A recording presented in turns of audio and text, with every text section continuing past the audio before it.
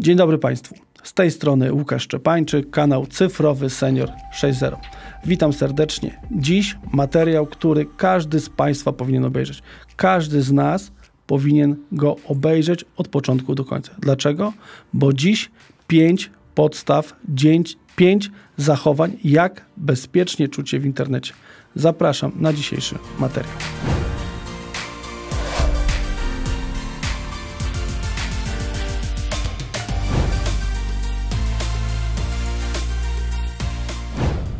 Szanowni Państwo, każdy z nas chciałby i lubi czuć się bezpiecznie. To bezpieczeństwo jest jedną z podstawowych cech, do której dążymy.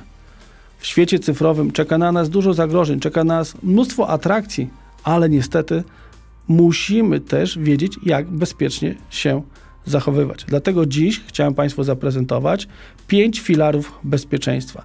Pięć takich podstawowych e, haseł, które musimy mieć w głowie, kiedy poruszamy się po internecie. Zapraszam. Pierwszy filar bezpieczeństwa to silne i niepowtarzalne hasło.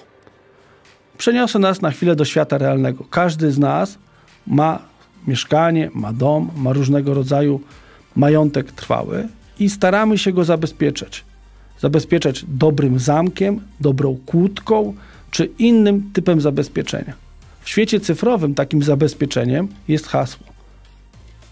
Dlatego unikajmy sytuacji, kiedy naszym hasłem jest imię bliskiej osoby z cyferką 1 czy data urodzenia. Starajmy się, aby nasze hasło dobrze chroniło różnego rodzaju nasze dobra w świecie cyfrowym. Naszą bankowość, nasze finanse, naszego maila, czy nasze media społecznościowe, tak by nikt nie podszywał się pod nas. W innym z filmów mówiłem o trzech sposobach budowania silnego hasła. Dzisiaj tak na szybko podam jeden sposób, to podstawianie zamiast niektórych znaków, znaków specjalnych, na przykład małpy zamiast literki A, wykrzyknika zamiast literki 1, czy ósemki zamiast na przykład literki B. E, drugi sposób to ułożenie sobie w głowie długiego zdania, które zapamiętamy, a następnie pobranie z tego zdania po pierwszej e, literze, które następnie utworzą hasło. Trzeci sposób to zespolenie ze sobą e, trzech niezwiązanych ze, słow, ze sobą słów, na przykład pociąg, choinka, mm, lato.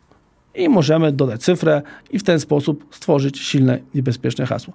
E, pamiętajmy też, żeby mieć różne hasła do różnych systemów. Jeżeli mamy jedno hasło do wszystkiego, to nie bądźmy źli, jeżeli ktoś jednym hasłem otworzy wszystko, co mamy w świecie cyfrowym.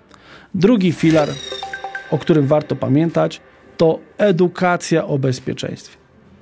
Tak jak świat się zmienia, tak jak widzimy, jak rosną i rozwijają się technologie, tak i metody oszustw e, w świecie cyfrowym cały czas się zmieniają.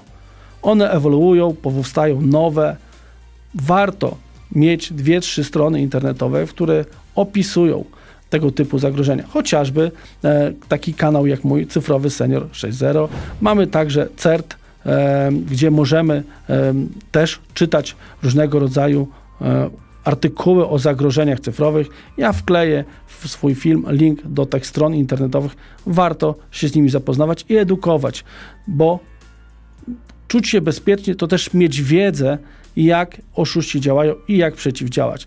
Jedną z takich ostatnich metod jest podszywanie się pod różne osoby bliskie nam. Warto wtedy zweryfikować, czy ta osoba faktycznie jest e, nam e, bliska, zadzwonić pod znany numer i sprawdzić, czy faktycznie ktoś się nie podszywa. Ok. Trzeci filar bezpiecznego poruszania się po internecie to aktualizacje.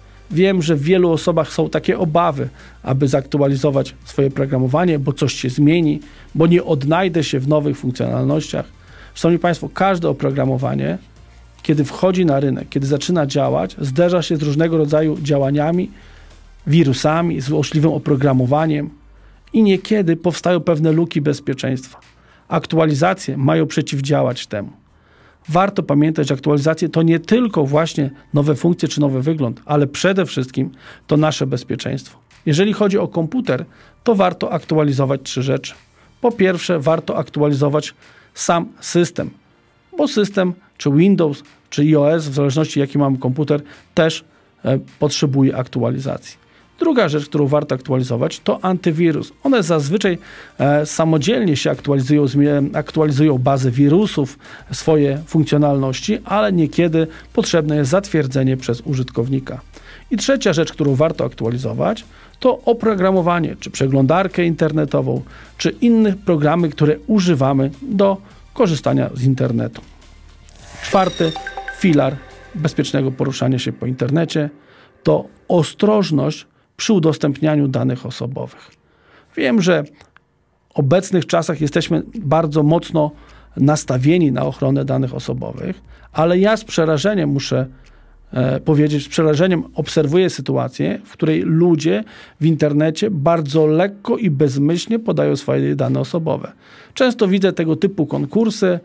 Zostaw swój numer telefonu i adres mailowy, by wziąć udział w konkursie.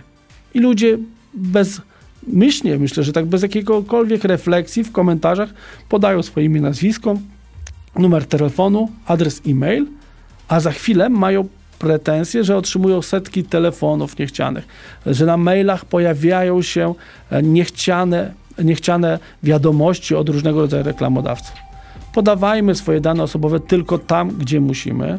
Jeżeli chcemy się zarejestrować na jakieś szkolenie, często jest to wymagane. Jeżeli coś kupujemy, ok, bo oczywiście powinniśmy podać adres i dane do kontaktu, ale jeżeli bierzemy udział w jakichś nieznanych konkursach, głosowaniach na coś, to starajmy się ograniczać takie dane osobowe, bo często e, to są metody wyłudzania tych danych. Jest to zjawisko phishingu, czyli wyławiania naszych danych osobowych. Starajmy się zawsze zweryfikować, czy te dane trafiają we właściwe miejsce. I ostatni filar bezpiecznego poruszania się po internecie to korzystanie z bezpiecznych stron internetowych w sytuacji, kiedy my podajemy nasze dane. Co to oznacza? Strona internetowa, na której podajemy nasze dane, wpisujemy maila, numer telefonu, jakieś hasło, powinna być zaszyfrowana. Co znaczy zaszyfrowana? W lewym górnym rogu e, adresu, ja za chwilę to wyświetlę, macie Państwo, e, powinna być kłódeczka, co oznacza, że połączenie jest bezpieczne. Co oznacza, że wszelkie dane, które tam podamy, zostaną zaszyfrowane. Co nie, e, to, co powiedziałem, nie oznacza, że Państwo nie możecie wchodzić na strony niezabezpieczone.